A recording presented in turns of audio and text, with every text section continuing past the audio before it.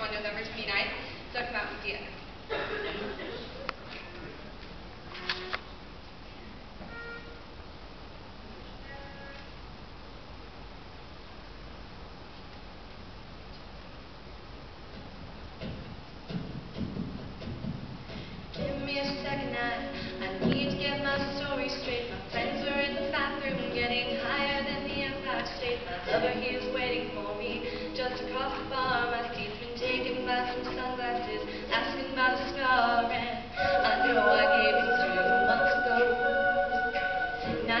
trying to forget.